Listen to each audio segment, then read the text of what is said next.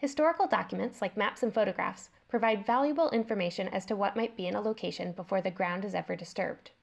When a foundation is found, you know what it is because it's exactly where an old map or photograph said it would be. Early maps of Alexandria like this one can provide very crucial information, but today, archaeologist Dr. Benjamin Skolnik will show some of the more modern maps and photographs of Alexandria that he finds most useful to his work. This is the first really good look that we get uh, in the pages of this uh, Hopkins Atlas uh, of the of Old Town Alexandria. Um, and so if it's standing in 1877 and it's bigger than you know a shed um, or a stable, it's on this map. And when we do archaeology here in the city, we're frequently cross-checking what we're seeing in the ground against this map. And then conversely, we, we check this map to see if there's something on it to help us, to help guide us um, when we're planning our excavations. Uh, whereas when the Sanborn Map Company comes along and they do their atlases, um, these are fantastic for figuring out the um, you know remnants of foundation walls that we find in the ground. Um, they're color coded based on what the buildings are made out of. They tell us how many stories the buildings are, what the roofs are covered with, uh, how many windows they have, sometimes where the windows are, what the building is used for. Um, they're fantastic. So in the early 20th century, there's two pieces of technology that come together that bring us aerial photographs. Uh, the two we use the most are 1927, this one in 1937. They're great in that they show, we're, I'm not, I don't have to rely on an early 20th century cartographer drawing lines on a piece of paper showing me where buildings are. Uh, the photograph captures them. Where I'm at a disadvantage is now all the hard work has been dropped on my lap. And now I have to figure out what it is that I'm looking at what these buildings are, how tall they are, what they could be used for. What's this little blob? What's this little blob? Is it the thing that I'm seeing in the ground archaeologically? Or is it, you know, is it a guy's car that is gone the next day? Um, this is the thing that uh, I use at work.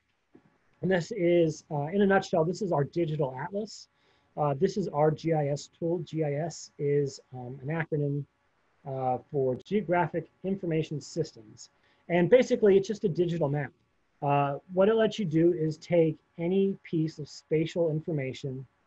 Uh, you can tell the computer where that piece of spatial information is supposed to live on the surface of the earth. And then you can drop it in on top of any other piece of spatial information that you want. Um, what you're looking at here, I think one, two, three, three or four different pieces of information. I've mapped the city boundary line there in black. Uh, I've mapped individual property uh, individual properties or parcels there in the pink. And all of that is laid on top of um, the, that 1927 aerial photograph. And so what it lets me do is if a project comes up um, through um, uh, uh, the Archaeological Protection Code or the code office, with this I can, I can go to any address in the city and toggle through any of the 100 or 200, I've lost track how many I have now, um, historic maps of the city that show us things that existed in the past. And so I think a lot of archaeologists, they spend their entire careers asking the question, uh, when? How old is something? Uh, when was this thing put in the ground? When was it made? When was it used? Uh, I think for me, what's much more interesting is this question of where. Where is something?